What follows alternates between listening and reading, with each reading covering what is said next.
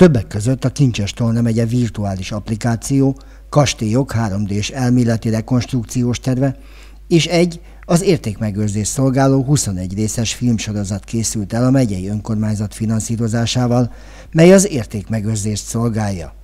Mindezek jellegüknél fogva elsősorban a fiatalabb generációt célozzák meg annak érdekében, hogy felismerjék és megismerjék szűkebb lakókörzetük értékeit.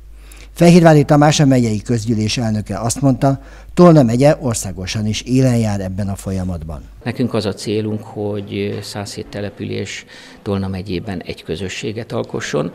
Nyilván ez egy nagyon pozitív és nagyon előremutató álom, de most már 65% környékén vagyunk, akik részt vesznek ebbe a tevékenységbe, és olyan érdekes programok, érdekes felvetések, érdekes történések, gyűjtések tört, ö, ö, születnek a megyében, amelyek komoly értékek és vihetik tovább a következő generációk számára azokat az értékeket, amik számunkra fontosak. Tolna megye duskál azokban az értékekben, melyek példaként állíthatóak az ország valamennyi megyéje elé tette hozzá Fehérvári Tamás.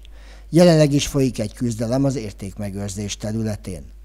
A most közzétett projektekben a telefonos applikáció 21 megyei érték elérhetőségét mutatja meg, miközben bemutatja azok történetét is. Három kastélytervét ismerhetik meg a felhasználók, és játszhatnak a Tolna és Hargita megye értékeit bemutató stratégiai játékkal az online térben.